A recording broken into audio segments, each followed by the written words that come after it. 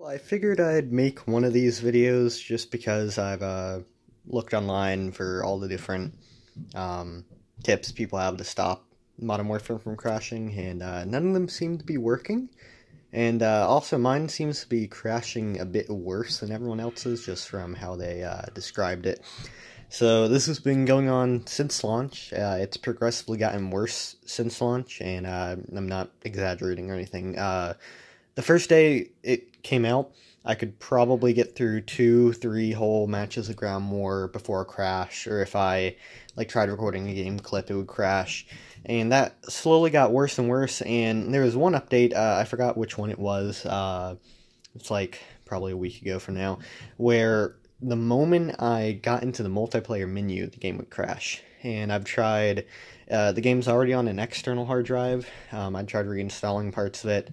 Um, let's see here. I uh, disabled all my notifications. I'm not in an Xbox Live party uh, or anything like that, and it still seems to be happening. So I'll get logged in and then uh, record what happens. And also, I know it's kind of hard to see, but this is an Xbox One X Project Scorpio edition. Uh, those are the uh, external hard drives that uh, the game is running off of. And I'm all logged in now, so I'll start the game. So uh, loading screen uh, normally loads up okay. Uh, occasionally the fans will spool up uh, during this part, but uh, we seem to be doing fine. Um, I will mention I have not been able to get on the game in over a week now. Uh, I've gotten to level, you know, 70 something using my brother's Xbox. Well, this is our main Xbox on our 4K TV, so I'd like to be able to play the game on this. So we'll get into the menu here, and uh, if it actually wants to connect for once. Okay, so uh, I'm in multiplayer, or uh, just in the main menus now.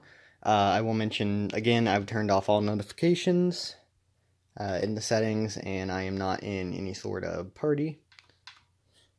And what happens is I can get in the multiplayer, and then immediately if I start browsing the menu, fans spool up, game crashes,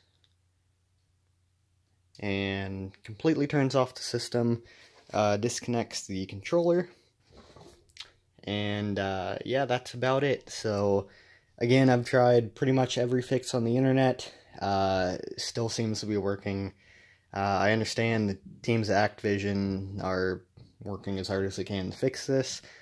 I understand, uh, but this is very, very frustrating. Honestly, thought it would be fixed by now, and uh, that's why I just wanted to give a quick video on it. So, uh, please help.